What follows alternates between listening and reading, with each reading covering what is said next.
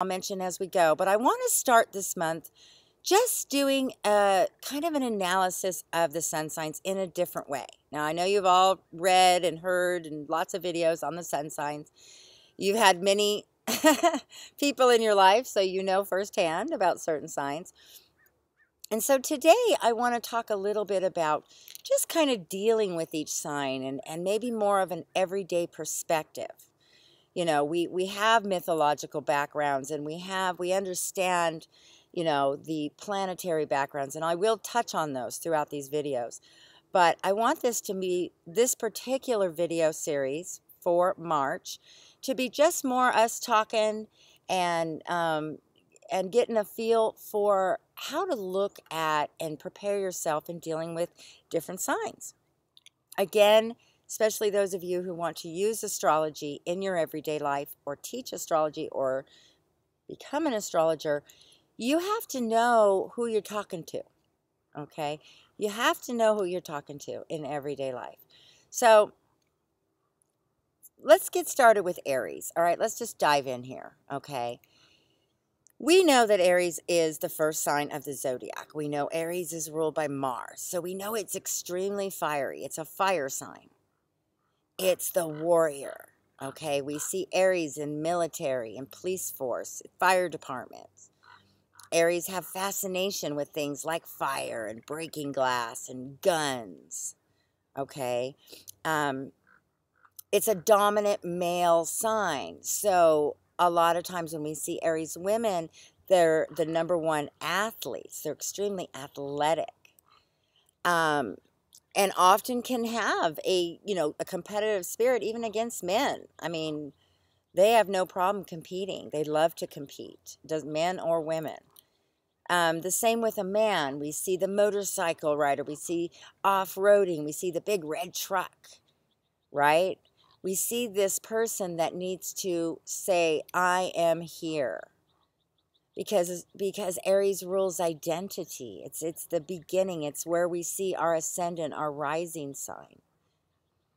It's the head. It rules the head. And so a lot of times with Aries, they're going to hit their heads a lot, especially as kids, or maybe have come in life through a difficult birth, not uncommon for Aries. Cesareans um, is not uncommon. Um, you know, teeth teeth can have teeth problems, knockout teeth. All right, anything that has to do with the head. So um, let me get it, dab in a little bit to medical astrology, where you see headaches and the adrenal gland. Okay, is ruled by Aries, so that's why they are so quick to ignite emotionally. Okay, so quick to ignite with passion, and it's just like you know, when you light up an Aries. Now, we also see, because this is the first sign of the zodiac, this is the childlike sign. It's the, the time frame between zero to seven. Okay.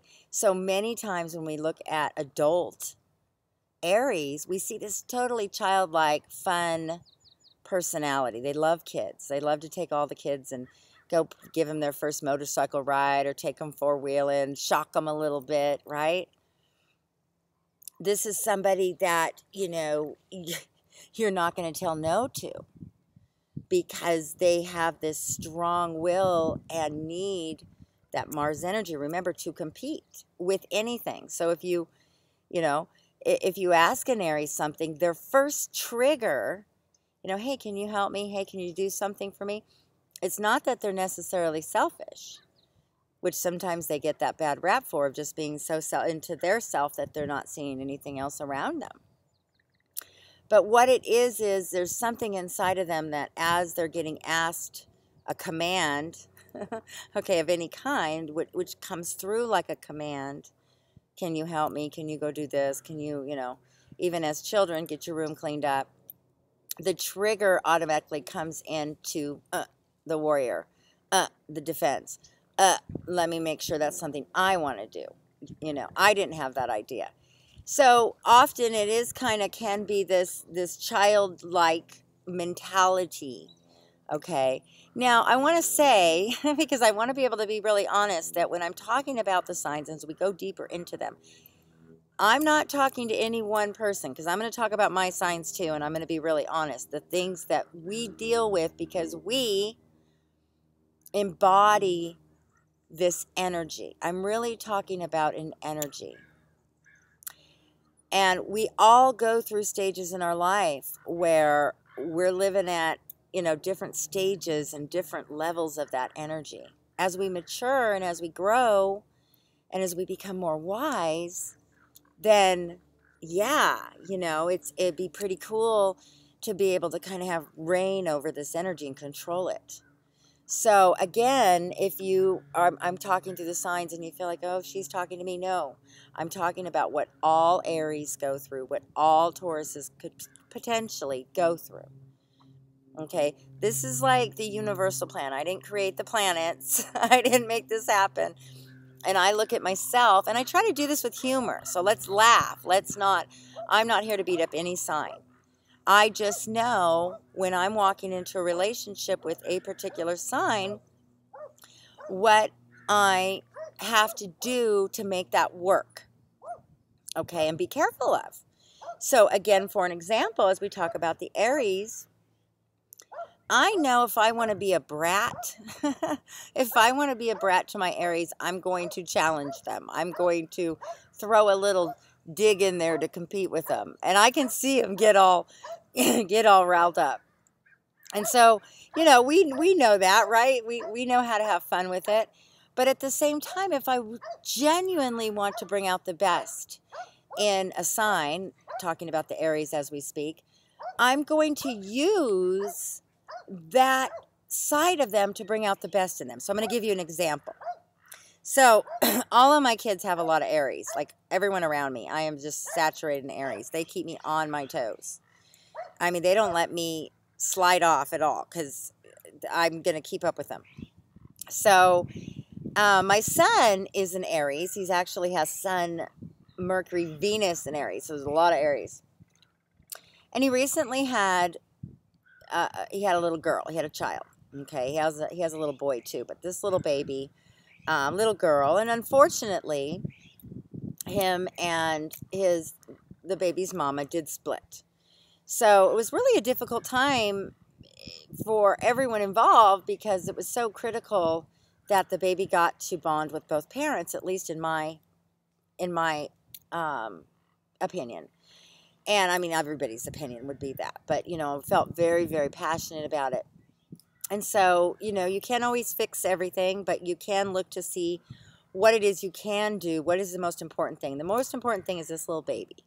So my son's been at our house on the days he has the baby just to have a little she's been only like we've had her since you know six weeks to like now she's eight months you know every other weekend and i know that's got to be hard on a little baby so i want to make it as best i can for that baby as a grandmother right we're just talking right so um my son's an Aries, and I really wanted him to bond with her. So I knew, okay, I knew that if I showed her a lot of attention, which I would have done anyway, but I knew if I show her a lot of attention, it's going to ignite his need to come over and get in the attention with her. That that's his little special, you know, this is his. It's, it, it'll ignite that protectiveness over her, that need to be, you know, have her smile more at him than he does me so I secretly want that from him. So by me, oh, look, she's smiling at me. I know he's going to have to come over because he's an Aries and get a better smile than I just got. But see, I'm sneaky as a grandmother because that's what I want. I want them to have that bond. So am I manipulating the Aries? Am I am I bringing out the best? Am I triggering a little bit of their competitive instinct to come and now participate in life? Now, the opposite of that would be if I secretly wanted the baby to love me more than her dad. Okay, now let's just say that's out there. Okay, people do that. I don't know. But how would I go about that? I could be telling them, look, she likes me more than you. She only smiles at me. She doesn't even smile at you. She only likes me. Now that would trigger an Aries to a full war. okay? Why? Because they they need to feel first. They need to feel loved. They have that need to feel wanted and appreciated. Okay? And to be right there in the center of the attention. So, I just want you guys to see that when I'm working with the signs, whether it's my children, my clients, relationships, friendships, I say to myself, do I want to bring out the best in this person or do I want to bring out the worst? Because we all have the power. And knowing astrology, I truly, truly believe it's very, very important that we understand it's not a tool to be used against anybody by knowing what might trigger someone. That is actually totally unethical in the spiritual laws. Okay? Now, does that mean that if somebody's acting really crazy and we look at their chart and we can say, ooh, that's the crazy side of this Aries? Uh, yikes. Okay, because it can get crazy. When an Aries is off balanced, they're just um, it's kind of even though it's a even though it's the ram okay the ram is a prey animal the aries is actually a prey animal where the Leo is actually a lion, a predator. Okay, the Aries, but at the same time, there's a lone wolf. There's this almost wolf vibe. And I think it be, can become the, the Aries, the wolf in sheep's clothing. Okay, the Aries that now is defensive and out to get everyone. And if I can't have the attention, neither can you. Um, or if I can't get good attention, I'll get bad attention because I just want attention. This goes on the other extreme, right? Of, of people that have no clue, that are just spiraling in this raw Aries energy.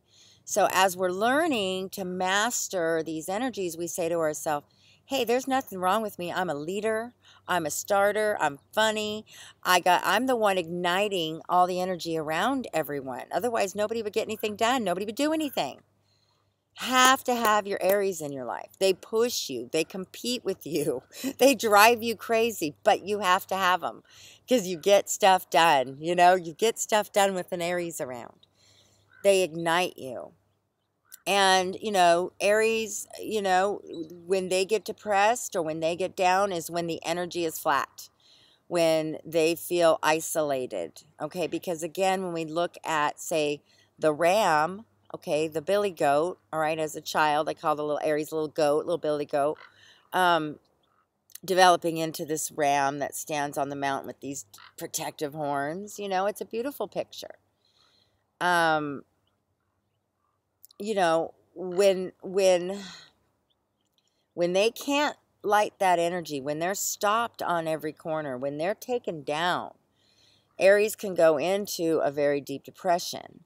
Um, and again, anger and bitterness and those things can stir up.